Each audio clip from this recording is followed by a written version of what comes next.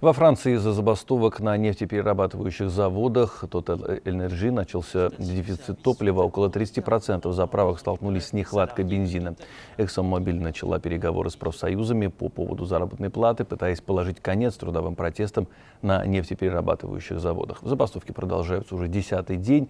Они привели к нарушению работы двух нефтеперерабатывающих предприятий и двух крупных нефтебаз.